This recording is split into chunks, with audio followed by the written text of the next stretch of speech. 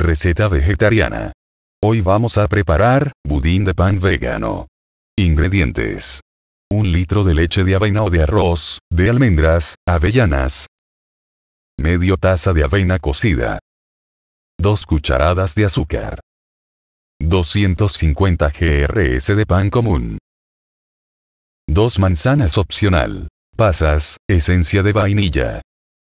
Tienes la preparación de la receta, en la descripción de este video, junto al enlace de la fuente original. Saludos.